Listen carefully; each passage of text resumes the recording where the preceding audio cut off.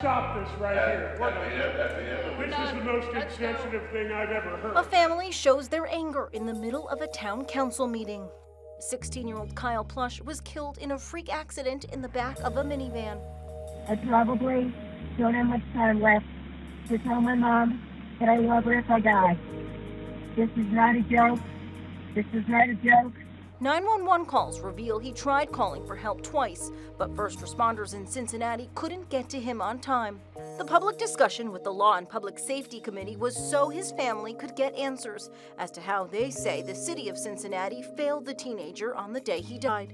It made an uncomfortable turn when one council member asked, But there's no amount of money that's going to make you happy.